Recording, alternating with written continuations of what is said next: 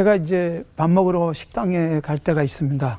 혼자 가는 게 아니라 때로는 우리 교인들하고 같이 갈 때도 있고 친구들하고 같이 갈 때가 있지만 사실 밥값을 누가 내는가에 대한 고민을 별로 한 적은 없어요. 음. 늘 그냥 내가 내지 뭐. 음. 이 생각이 늘 많았어요. 음. 그래서 친구들을 만나면 가능하면 제가 밥 사겠다는 생각을 지금도 하고 있으니까 밥 사달라 그러지 마세요. 그게 아주 자연스러웠어요. 음. 근데 어, 우리 권사님들 뭐 이런 성도들하고 같이 갔을 때도 서로 돈 내겠다고 싸움이 일어나죠. 계산할 때. 카드를 다 꺼내고 뭐. 그 다음에 앞에서 결제했는데 그거 캔슬하고 다시 하겠다 그러고. 그러니까 이런 모습이 요즘 젊은 사람들에게서 과연 볼 수 있을까? 소위 MZ 세대들 속에서 재밌는 것은 다섯 명이 밥을 먹으면 카드를 다섯 장 내는 거예요. 아. 네, N분의 1. 맞아. 근데 그런 식당이나 그런 점포에서 조금 더 불편해하지 않습니다. 음. 지극히 당연하게 받아들여주고 있다는 겁니다. 음. 그 다음에 한 사람이 다 냈을 때는 반드시 집에 들어와서 n분의 1로 통장 입금을 하고 있습니다. 네. 이게 우리 딸아이를 통해서 보게 되는 음. 오늘 MZ세대의 모습이란 말이에요. 그러니까 사실 누구에게도 내가 손해를 끼치고 싶지도 않지만 누구 때문에 손해 보고도 싶지 않은. 그러니까 이거 손해라고 말했지만 사실은 내가 희생할 필요 없다라는 생각이죠. 내 건 내가 챙기고 또 네 건 내가 손대지 않는 아주 분명하게 분리가 돼 있는 그런 삶을 추구하면서 과연 행복할까? 어, 그리고 제가 느끼는 이렇게 밥을 사주면서의 기쁨, 음. 그리고 기도하면서 하나님 내가 많은 사람 밥 사주게 하옵소서 이게 제게는 기도의 제목이었는데 이게 여러분 그 젊은 사람들이 거꾸로 기도할 수 있잖아요. 음. 내게 밥 사줄 사람 많아지게 하옵소서. 아. 근데 이게 사실 얼마나 공허한 기도겠어요. 어, 우리들이 사랑이라고 할 때 아까 뭐 서두에서도 그런 얘기들 나눴지만 희생이 없는 사랑이 있을까? 이게 사실 저는 사랑과 희생을 뗄래야 뗄 수가 없다. 동전의 양면처럼 사랑 당연히 희생이 따르죠. 어, 저 사람이 저렇게 희생하는 거 보니까 정말 사랑하는구나 라고 느끼게 되는 것이 아니겠는가라는 생각입니다. 예수님의 사랑을 우리가 이야기할 때 그냥 예수님의 사랑 그러면 그 속에 희생이 다 들어있지 예수님의 사랑과 희생을 절대로 분리할 수 없습니다. 예수님이 사랑하시기 때문에 희생해 주셨고 예수님이 희생을 통해서 사랑을 보여주셨고 그리고 우리에게 요구한 게 뭐예요? 요한복음 15장에서 내가 그 너희를 위해서 그렇게 사랑한 것처럼 하라고 말씀하시기 위해서 친구를 위해서 목숨을 버리면 이보다 더 큰 사랑이 없다. 그러니까 최고의 사랑이란 뭐냐? 친구를 위해서 목숨을 버린다. 이거 희생이란 말이에요. 왜 내가 대신 주고? 그건 누구도 하고 싶지 않습니다. 어, 여러분 생각해 보세요. 우리가 학교 다닐 때 어, 어떤 친구가 오늘 청소 당번인데 자기 좀 일찍 가야 되겠다고 청소를 대신 해 달라 그러면 그게 가능했어요. 음. 과연 요즘 그게 가능할까? 음. 요즘은 청소도 안 시키니까. 예. 학교에서 청소 안 시키잖아요, 학생들에게. 그러니까 이런 그 생활 속에서 산 학생들이 과연 희생적인 그런 사랑을 과연 이해는 하고 있을까? 그러다 보니까 사랑이라는 용어는 굉장히 많이 등장하고 있고 사랑이 음악, 미술, 영화, 연극, 어디에나 나오지 않습니까? 그러나 진정한 사랑을 찾기가 쉽지 않다는 것입니다. 왜 진정한 사랑을 찾기가 어려운가 하면 희생이 동반된 사랑을 저는 사랑이라고 생각하는데 그 희생은 내가 하지 않고 사랑하고 싶은 거예요. 왜 그런가 하면 사랑이 즐겁기 때문에. 사랑은 재밌기 때문에. 사랑하면 내가 행복하다고 여기는 거죠. 그런데 내가 희생하면 행복하지가 않은 거예요. 그러다 보니까 희생 없는 사랑이 오늘날의 모습이 되어진지도 모릅니다.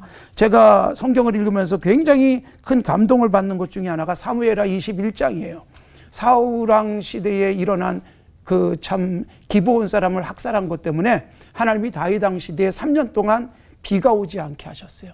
하나님께 기도했더니 바로 그 일 때문이다. 그래서 어, 기브온 사람 중에서 참 기브온 사람을 죽인 그 사울의 집안 중에서 나무에 달아서 죽이는 일이 일어났어요.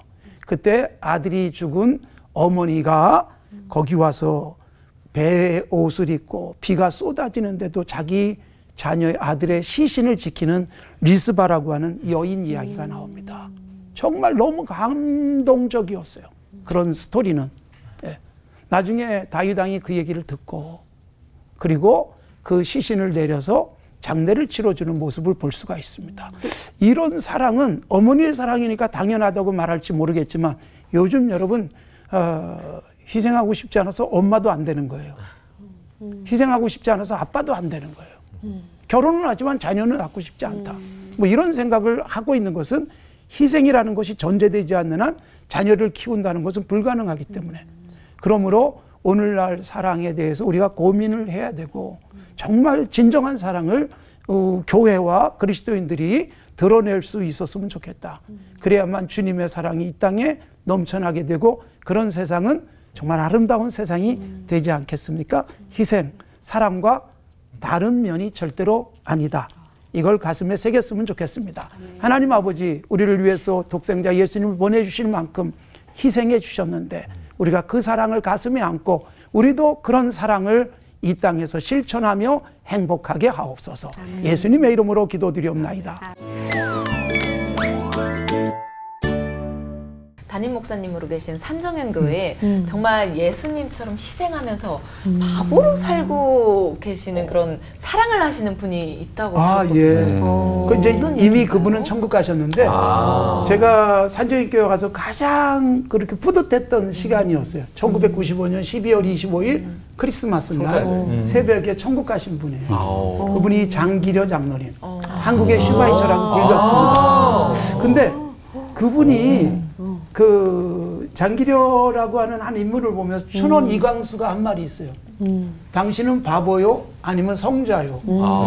그러니까 바보와 성자가 이렇게 연결된다는 의미일 수도 있어요. 정말 바보 아니야? 어떻게 저렇게 살지? 바보가 아니라면 성자일 거야. 성자 그러면 우리는 예수님을 떠올릴 수밖에 없잖아요.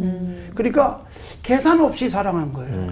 그 굉장히 중요한 그 사례들이 많이 남아 있는데 그 사실 장기리 장로님이 1950년 12월 달에 그 전쟁 중에 그 월남을 하셨어요.